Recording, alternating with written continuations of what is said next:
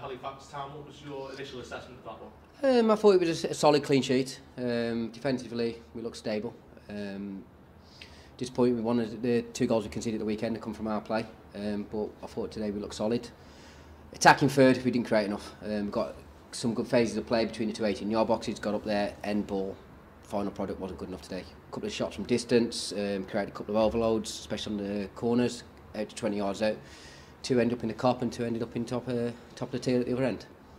Yeah, in terms of that final third, no uh, shots on target in a home match, especially when you're looking for reaction.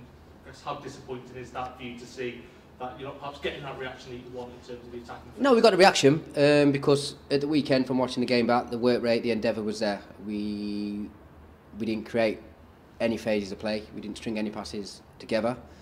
I thought we looked at periods in the game we were in control. We moved it a lot better, um, trusted each other.